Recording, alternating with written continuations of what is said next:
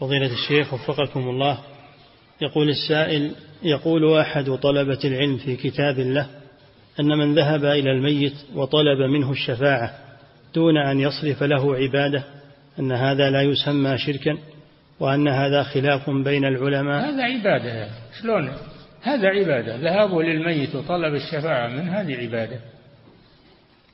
هذه عبادة كيف يقول أنه لم يصرف له شيئا من العبادة؟ هذا تناقض. نعم. وقد نسب ذلك يقول إلى شيخ الإسلام ابن تيمية. كذاب. كذاب أشر. نعم. شيخ الإسلام ابن تيمية ينهى عن هذا. لكن كل شيء يعلق على شيخ الإسلام كل شيء الآن. ولو حققنا معهم وجدنا أكثرهم كاذبين. نعم. لأنهم يشوفون أن الشيخ له مقام وإذا قيل شيخ الإسلام سلموا الناس. ويريد أنه يت... أن الناس يصدقونه. ويلذلك يقول قال شيخ الإسلام. نعم.